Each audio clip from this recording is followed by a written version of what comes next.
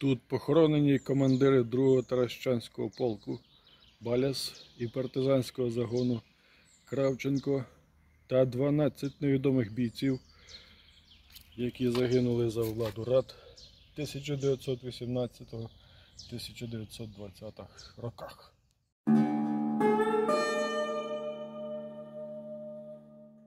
Баляс був заступником Федора Гребенка, котрий навесні 1918 року зібрав повстанців для протистояння німцям, які після Берестейського миру прийшли підтримати молоду УНР. Та в квітні натомість посадили гетьманом Павла Скоропадського. Ух. Таращанське селянське повстання почалося з того, що в Стрижівці один із загонів Гребенка встановив революційну владу. У Ставищі наступного дня, 10 червня 1918 року, Федір Гребенко став командиром з'єднання таращанських повстанців, а вже 12 червня захопив Таращу, де організував революційний комітет. Тоді ж із в'язниці в Таращі звільнили комуніста Василя Баляса. Повстанці заявили, що виступають за повернення всіх здобутків революції, зазначених у третьому та четвертому універсалах Центральної Ради, повернення прав Центральної Ради та всіх демократичних інституцій. Головним девізом було гасло Геть німці з України, хай живе радянська влада, але без більшовиків, хай живе вільна, самостійна і ні від кого незалежна Україна. Увесь час Баляс ніяк не міг ужитися зі своїм другорядним значенням супроти Федора Гребенка і вишукував можливості посісти більш чільне місце в повстанському русі. Така нагода йому випала, коли в липні 1918 року німці добряче дали перцю повстанцям. Гребенко вирішив відступати на Полтавщину, а Баляс натомість агітував за приєднання до більшовиків на Чернігівщині. Зрештою, таращанці опинились ні там, ні там, а в нейтральній зоні на Курщині в Росії. Восени 1918 року, поки Гребенко навчався на курсах червоних командирів, більшовики призначили Баляса командиром першого кавалерійського ескадрону при другому Таращанському полку. Тим часом Гребенка після підвищення кваліфікації на початку 1919 року уповноважено формувати перший український радянський кавалерійський полк. Тож згодом Баляс знову перейшов під командування Гребенка, який волею неволею прислужився планам комісара Володимира Антонова Овсієнка у взятті Києва. 8 лютого Гребенко зайняв село Біличі. Надалі полк Гребенка відтіснив війська армії УНР напрямку Житомира. У липні 1919 року в Таращі Василь Баляс зірвав нараду, на якій штаб Гребенка мав розглянути питання, чи виступати спільно з атаманом Зеленим для деокупації Києва від більшовиків.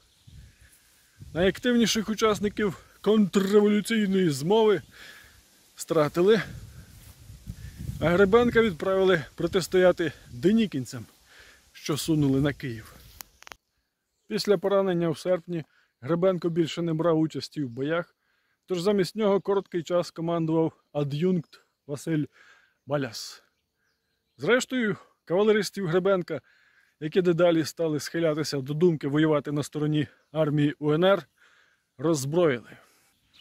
Гребенка заарештували 26 жовтня 1919 року за звинуваченням у невиконанні бойових наказів у зраді радянській владі та надсиланні ультиматуму українському радянському радянському урядові скласти свої повноваження і залишити межі України. Балясу ж трапилась можливість остаточно розрахуватися.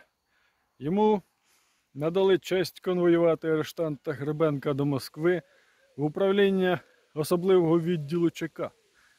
І ось після повернення з Москви Василя Баліса нарешті підвищили до посади фуражира кавалерійської бригади. Якось при підступі до Києва Василь Баля скинув фразу. З молодшим Гребенком я розправився. Тепер черга за старшим. Маючи на увазі батька Федора Гребенка Прохора, що жив у Лісовичах.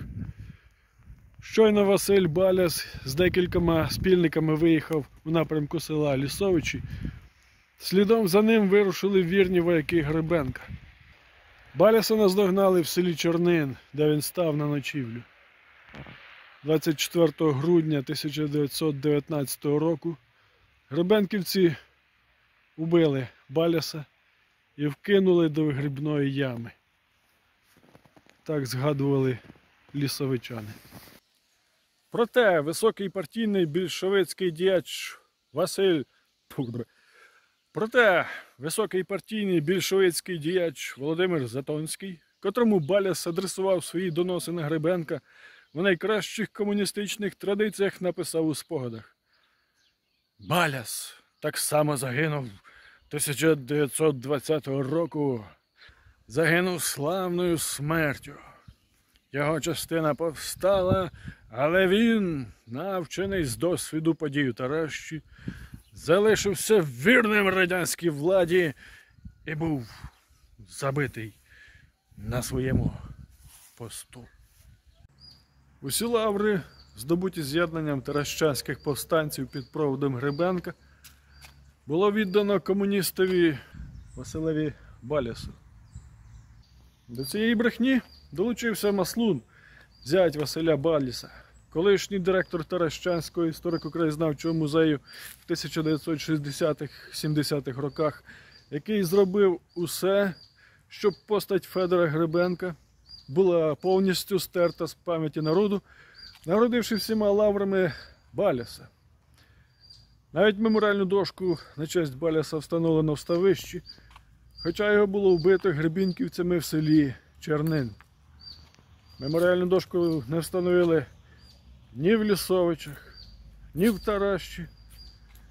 Оскільки лісовчани і таращанці знали істинну ціну військової діяльності Гребенка та Баляса.